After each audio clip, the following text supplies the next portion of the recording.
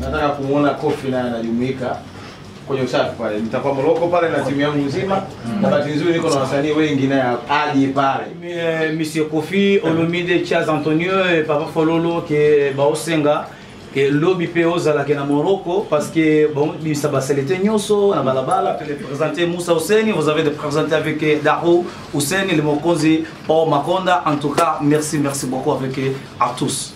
Rais amesema siku fulani watu wote tunafanya. Kumbuka, alipaswa yeye ndio kuwepo uwanja wa Taifa na kupokea na kuangalia maonyesho na kutuambia habari ya historia yetu, tumetoka wapi, tunakwenda wapi, kwa sababu huru ni sehemu pia ya kukumbuka wapi tuliko kuwa na namna gani tulitoka. Kitendo cha kutokufanya hivyo, maana yake kesho si usafi, na yeye atakuwa yuko sehemu ya usafi, ila hakuna anayejua atafanya usafi Ushangae yuko kwenye barabara ya Moroko Kinondoni pale, ushangae yuko Mwananyamala, ushangae kokote kule. Na mimi nafurahi akitushangaza wana Kinondoni, lakini pia tunaye makamu wa rais. Anaweza akaingia kokote kule, tunaye waziri mkuu. Anaweza kuingia kokote kule, tunaye mkuu wa mkoa wa Dar es Salaam anaweza kwenda kokote kule. Usisahau pia Kinondoni ina viongozi wa staafu wa kutosha.